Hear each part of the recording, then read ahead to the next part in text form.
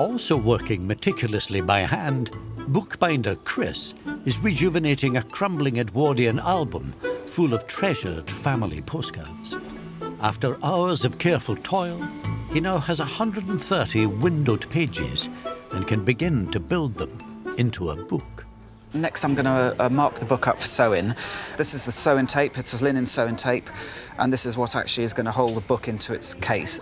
Instead of just being individual pages, that's when the book all comes together.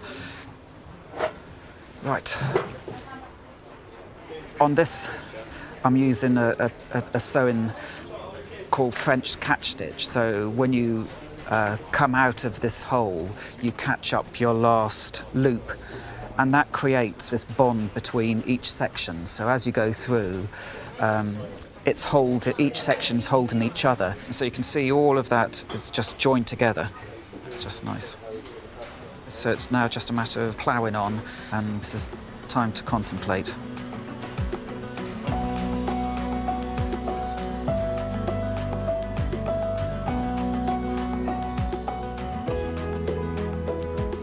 So this is the final section with the end paper, which is always a bit of a fiddle.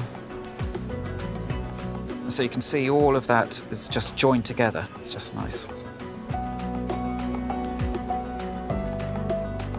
With the interior built, Chris can turn his attention to the battered covers that will encase the pages. Before pulling it to pieces, I've just been looking at it. They are crumbling where it's attached to, the, the book's actually attached to, so I'm just going to cut straight down the middle it's fallen to pieces, so it's exposed the, the board, makes an easy cut for me.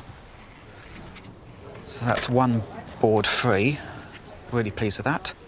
So all these corners are, they're not that bad, but what I'm going to do is I'm going to actually repair them with some more embossed sort of paper.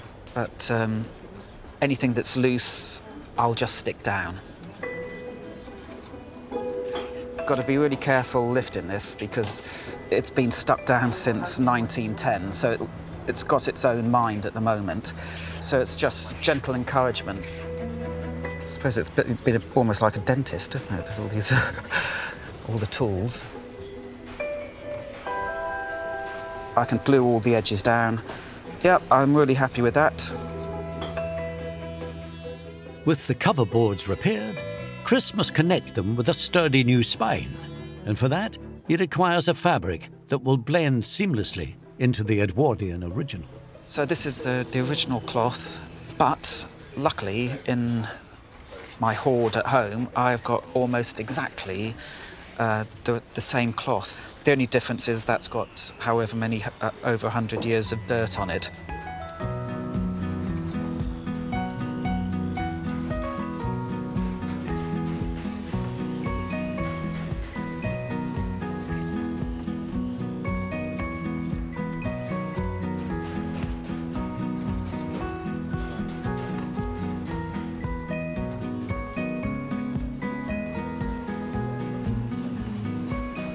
Give that a squash. I'll just give it a, a gentle shock. So while that's drying, I can pop off and have a cup of tea.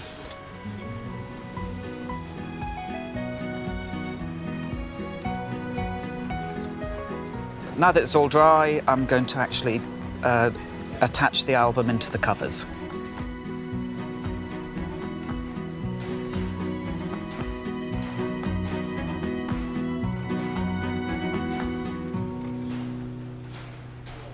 Make sure it's all married up and then rub it down. Just make sure it's in correct place. Makes it nice and strong. So finally I'm going to just paint it all up and uh, start making it look nice. There's a few sort of scuff marks, so just protect the inside. I'm going to use watercolour. It's just going to blend and not be so in your face. You don't want to take it all away, the, the scuff marks. It's just knowing at what point to stop. It's just the final bit now. I'm just going to start putting postcards in